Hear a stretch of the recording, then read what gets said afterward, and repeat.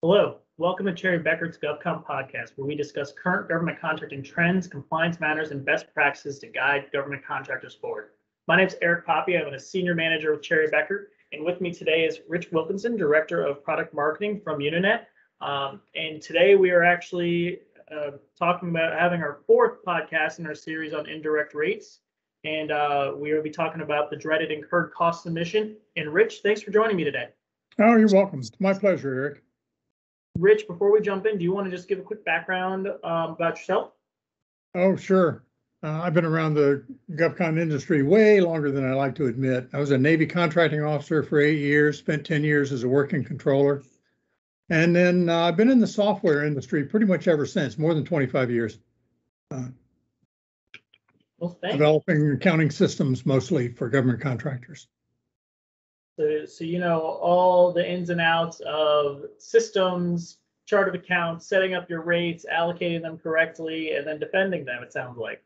Yeah, I've wielded the stick and I've been on the receiving end of it. Um, well, I, you know, I'm excited for this discussion today because uh, the incurred cost submission, you know, it's it's something that people are always dreading putting together. Either it takes a really long time, you're pulling di- items from all different sources. If it's GL detail, if it's billing information, project um, project cost detail, you know, it's it's definitely a administrative hurdle each year. Uh, but you know, to start us off, can you just give us a quick background of when an incurred cost submission is required? Sure. I mean, basically, anytime you've billed an indirect rate that has to be finalized before you can close the contract, you're going to need an incurred cost submission as a basis for finalizing that rate. Now, most of those contracts are going to have the incurred, I mean, the allowable cost and payment clause in them. And that's the clause that triggers the requirement to uh, submit a- an incurred cost proposal. It's in all cost type contracts, but it's also in all T and Ms. Because You know- the M part of a T and M is cost reimbursable. So we get that question all the time, and I'm sure you do too. Like, hey, I don't have any cost plus work. I only have T&M and fixed price. Why the heck do I need to submit this incurred cost submission if I only have T&M work? Yeah, Uh, and it's a two-part answer. First, the clause is in the contract. It says you have to. And you don't want to refuse to do it because if you get at loggerheads with the government, they have a lot more paper and pencils than you do, and they can write you nasty letters forever. But second, someday you're going to have to close out those T and M orders on that T and M contract. And if you've applied G and A to the non-labor cost, the travel and materials, somehow you've got to substantiate that rate and finalize it before you can close that contract out. If you don't have any negotiated final rates and DCMA really puts the screws to you to, to close out those orders, they're going to just make a unilateral determination that their GNA rate is zero and ask for the money back. That, that is true. Yeah, it's, it's definitely, um, so short answer is still got to do it. Still got to submit that six months after the end of your fiscal year. You do. And it's, it's an exercise in futility to resist, to write letters to DCAA or your ACO saying you don't need to do it. Uh, uh, it's, it's not worth your time and just send something in. Worst case, they're going to come back and say it's not adequate. You need to send more. Uh, but send them something. Let them know that you're not ignoring them. Mm-hmm. Well, and that's, There are times, by the way, when zero is the right number. Yeah. I've, I had a client a couple years ago that only had a couple T and M contracts and they had only applied G and A to some travel cost. We were talking a few hundred dollars. And I told the client, just write them and tell them that you'll accept a zero G and you'll write them a check for the G and A that was applied to those uh, travel costs and give it back because the few hundred bucks you'll spend on that is way less than what you'll pay me to do an incurred cost submission for you. That's a very good point. um, now, you know, say that company decided to submit their ICS, but they weren't able to submit it on time. You know, what are what are some of the consequences of having a late submission, and you know, how do you go about doing that? Well, first of all, sending it in on time is absolutely the preference. Yes. That's what you should do, okay? But anytime uh, you tell a government contractor, that's the requirement, that's the rule. Uh, they act like teenagers, okay? The first thought through their head is, well, what happens if I don't? And it should be, because the answer in this case is, you know, not very much. Yep. If you miss the deadline by thirty days, nothing happens. Now theoretically, it pushes the, the statute of limitations out day for day if you're late submitting your proposal. But that's largely theoretical. Nobody hits the statute of limitations without getting an audit anyway. And you would have to hit the six month mark late before you would get a letter from DCAA or DCMA with nasty words in it or threats or anything like that. So if June 30 is a real problem and it needs to be July 15th or July 31st or even September 1st, that's not a deal breaker. Better to send in an adequate submission a few weeks or even months late than not to do it. Or send it in on time, but missing key pieces, because they're just gonna send it back. I agree there. Um, the one thing I have, we have seen some variation with different, um, offices, different DCAA offices and different, in the different regions on, uh, actually notifying the contractor, hey, we haven't seen, received your ICS yet. You typically send it in. Where is it? We have seen that sometimes. Um, the one thing though is that if you do request an extension, if you do have a, what we've seen is that if you, if you have a track record of not submitting on time, that might be your one reason for getting that extension, especially if the long extension, say you have multi-years backed up or something along those, could Yeah. be, be reasons to reject that extension. Um, so you're playing a little bit of that goodwill game with DCAA and your, your contracting officer as well, I think, to consider. But yeah, they're, they're not too much of a consequence. No, a- and, requesting an extension, first of all, let me say it's a good idea. Because it does buy you a little goodwill from DCAA and they're going to take. Uh, first of all, they're gonna go to the ACO. They're not gonna respond on their own. And second, ACOs are very busy. It's gonna take him a month to respond. By then, you've probably already submitted it. But you let them know you're working on it and you're not ignoring them. And that's kind of important. So it's a good thing to do. They're almost, my experience and the clients I've worked with is that nine times out of ten, they're gonna deny it. Yeah.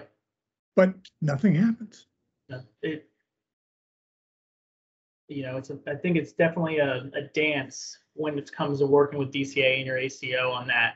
Um, you know, we have a few minutes left and I really want to talk about the submission of the ICS, you know, and then the audit itself. Um, so, you know, what we've been seeing recently with DCAA, especially as we've gotten caught up with these incurred cost mission audits and being, um, subbed out to third-party accounting firms. you Yeah. know, These, the incurred cost audits being bucketed into low, medium, and high risk. In low risk, um, you know, maybe not even getting audited or getting audited once every two, three years in, in these bundle formats. Do you have any just general comments about the audit process? Yeah, you know, that, that client that only had a few hundred dollars at risk. Um, if, if they had actually sent in an, an incurred cost submission, it would have made sense to wait and see if they're gonna end up in the low risk bucket, because if they do, there's no audit, no nothing, they just accept your rates as submitted. And that's happening to about half of all the incurred cost submissions that go in right now. DCAA got three thousand new incurred cost submissions last year. They cleared fifteen hundred on low risk memos. So half of everything they got last year, they, they're not, they're never going to look at. They're just going to accept it and the ACO's the ACO is not going to go back to DCAA and say, no, no, I don't agree, audit this. It just does not happen. You know, I think that hits a really good point to what you said before. If you have to submit late, submit, uh, don't submit something that on time that's inaccurate or not tidy, not complete. Because if you submit it late and it's, you know, very, a very clean submission, that would probably help in that, to get in that clean bucket for low risk. especially if they look at it and it makes sense. Mhm. If all the, if you use their ICE model, and I highly recommend it because it's what they expect to see, they like to see it. It makes them feel good when you use their model to submit your ICS. If you do that and all the, the bottom lines tie out from schedule to schedule, a lot of times that's as far as they look. even if they audit, if it's a small contractor and relatively low risk, they're not supposed to do a low risk memo if you've never had an audit before. So even if it's the first audit, if it's a nice clean proposal on their ICE model, they may not even look beyond just tying everything out.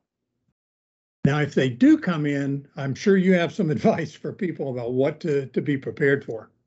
Yeah, you know, I, the, first thing, if, if, when, when the audit does happen, um, and they come in, you're going through your walkthroughs, you know, I, we always suggest uh, offering to do a walkthrough of the submission itself and show the tie out to a system generated trial balance. Yep, Um, that's a great idea.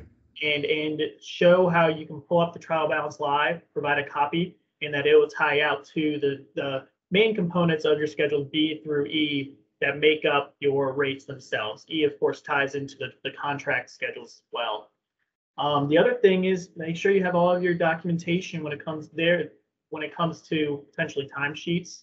Um, we, you know, you and I have talked before about having legal and consultant um, agreements and invoices ready to go.